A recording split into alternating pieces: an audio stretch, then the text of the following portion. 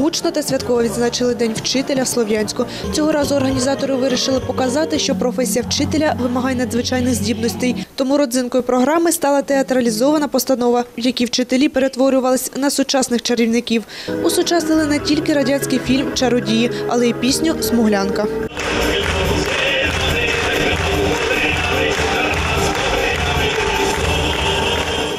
обійшлось і без нагород, а нагороджених в цьому році було чимало. Саме це підкреслює професіоналізм вчителів міста. Вы те, кому мы отдаем самое дорогое, что у нас есть.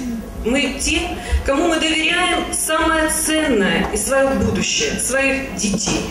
Своих детей, своих внуков. Вы те, кто действительно растит их, учит и делает из них ту изюминку, о которой ожидают родители.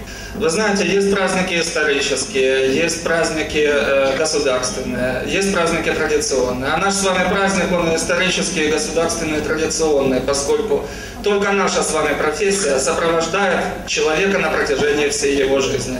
Найпочеснішою грамотою від Міністерства освіти було нагороджено Слов'янський педагогічний ліцей. Навчальний заклад взяв участь у загальнонаціональному проєкті «Флагман освіти і науки України», де зайняв призове місце.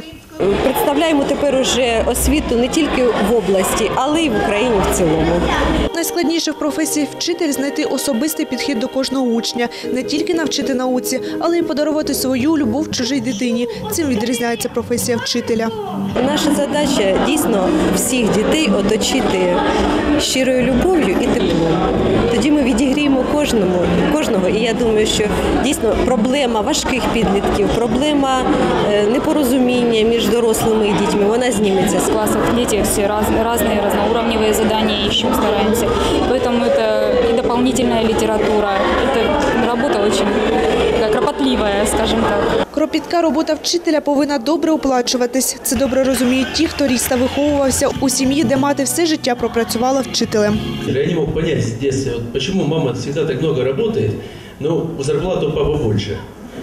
Я хочу сказать, что государство, конечно, должно как можно больше внимания уделять тому, чтобы у вас, у педагогов, была достойная зарплата и достойная жизнь, чтобы как можно больше было желающих идти и пополнять ваши ряды.